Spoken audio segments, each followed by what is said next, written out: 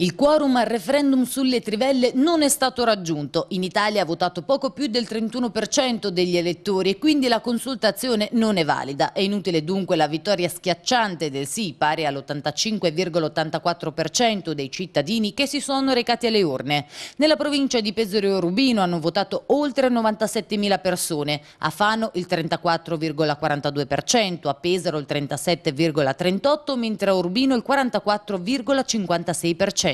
Risultato più di 79.000 voti per il sì all'abrogazione di una parte della legge attuale sulle trivellazioni, oltre 16.000 per il no. Un commento sull'esito del referendum a seggi chiusi è arrivato dal Premier Matteo Renzi, che per questa votazione ha deciso di astenersi, ricordando che 11.000 persone hanno rischiato di perdere il posto di lavoro. Risultati ottimi, ha scritto su Facebook, i lavoratori hanno vinto, qualche consigliere regionale ha perso. Ecco le sue parole massimo rispetto per quelle donne e quegli uomini comunque abbiano votati, ma gli sconfitti ci sono, hanno dei nomi, dei cognomi.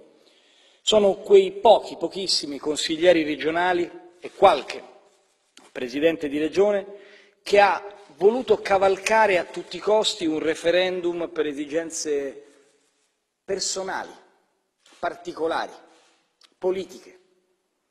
Un referendum che si poteva evitare, abbiamo cercato di evitare per risparmiare oltre 300 milioni di euro degli italiani, ma che è stato voluto tenacemente e pervicacemente non per discutere di energia, ma per esigenze di conta interna da parte di qualcuno.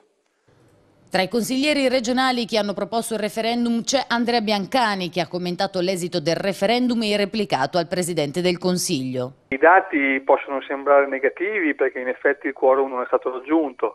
Devo dire che comunque un 34% dei cittadini che hanno deciso di andare a votare mi sembra comunque un buon risultato anche alla luce del fatto che comunque il governo aveva in gran parte dire, eh, accettato quelle che erano le proposte delle regioni. Noi quindi siamo, siamo, sereni, siamo tranquilli, non è mai stato, almeno dal nostro punto di vista, uno scontro politico, ma l'abbiamo vissuto come un, un'opportunità per i cittadini per confrontarci sui temi importanti come quelli della, dell'energia e della sostenibilità.